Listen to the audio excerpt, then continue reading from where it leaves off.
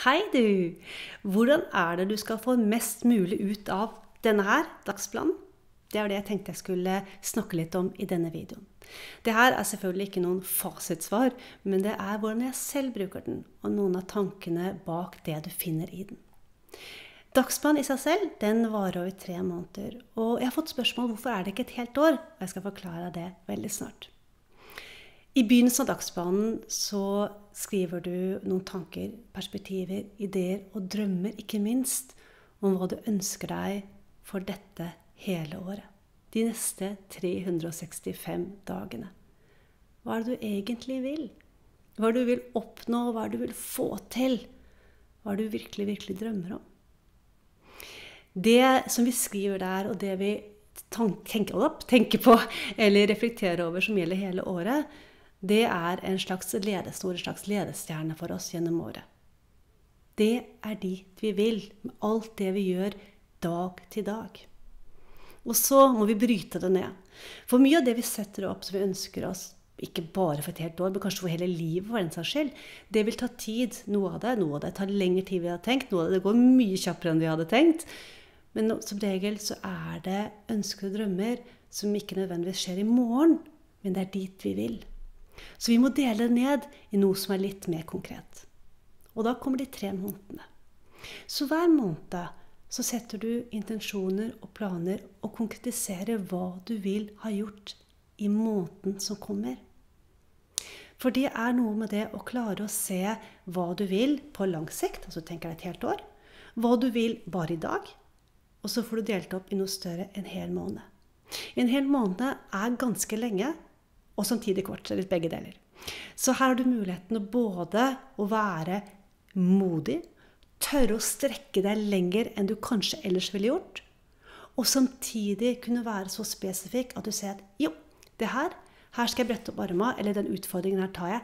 Dette skal jeg få til denne måneden. Og så bytter du videre ned i uken som kommer, og så videre ned til dagen i dag. Men ta nå først det som jeg nevnte, at det er noen som har spurt hva er grunnen til at dagsplanen er på tre måneder og ikke et helt år. Og det skylder følgende. De mål og visjoner vi gjerne setter oss i begynnelsen av et år, de kan være store og deilige og svulstige og gi oss masse energi. Og samtidig så kan de skape frykt og usikkerhet. Én ting er å drømme, ikke sant? noe helt annet er når hodet vårt begynner å tenke ja, men hvordan verden skal jeg få til dette her? Og jeg har ikke ditt, og jeg kan ikke datt. Og hva hvis andre ikke er enig? Hva hvis jeg får problemer med det her? Hva hvis osv.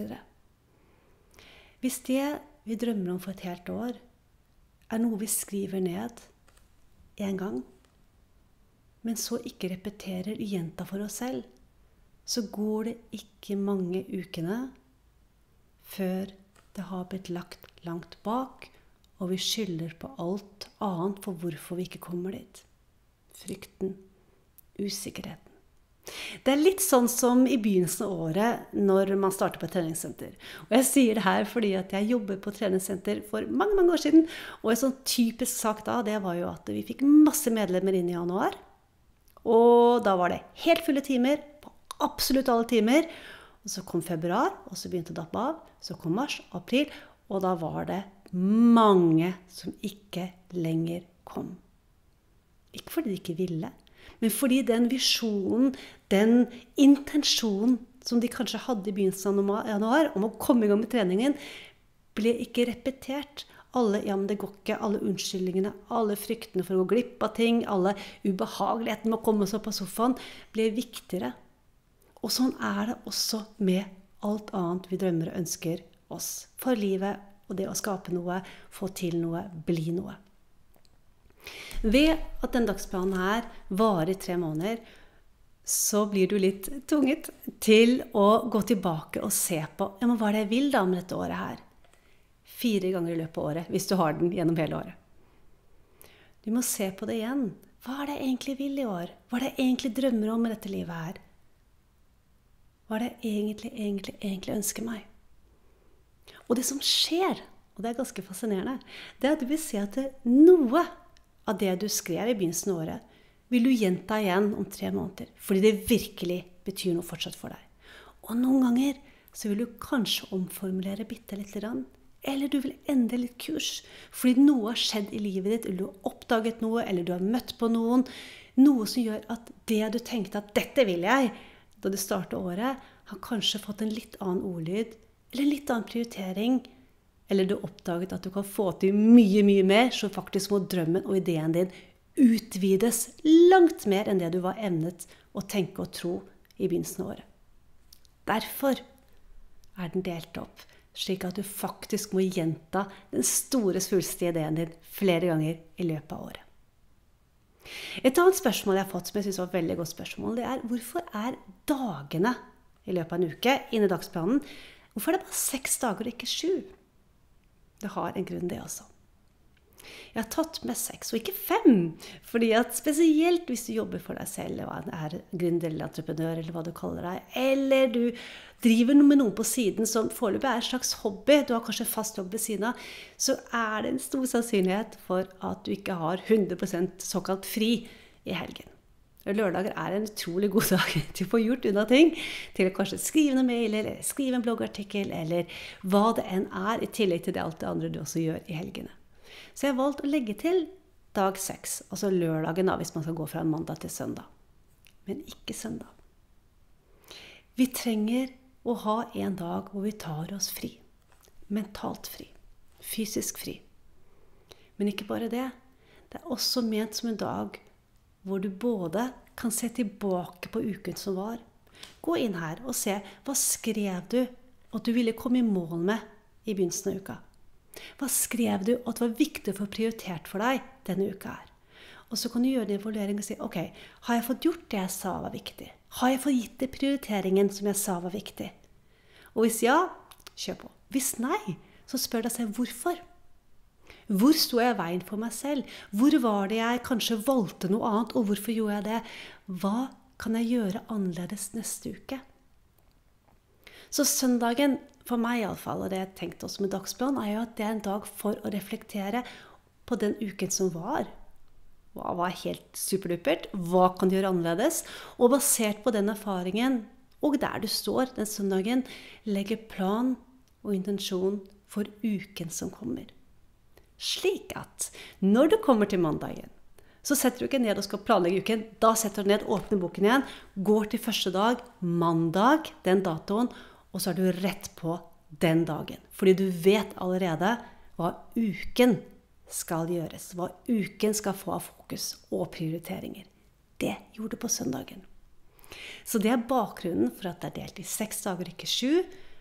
Og tanken er at ukeplanen, for å kalle det den gjør du på søndagen.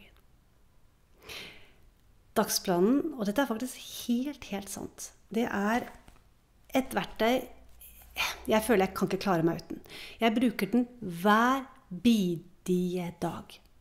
Og for meg så har det blitt sånn hellig, eh, sånn hellig stund at jeg gjør utfylling av denne sammen med dagens første kaffekopp. Det er bare snakk om noen få, få minutter, men det gjør så godt å kunne sitte med en penn og en fysisk bok før telefonen er åpnet, før Mac-en er slått på, før noen som helst mail er sett på, og i hvert fall ikke besvart. Sette Hva er det jeg vil med dagen i dag? Hva skal jeg gi fokus i dag? Og på den dagen så har du tre prioriteringer.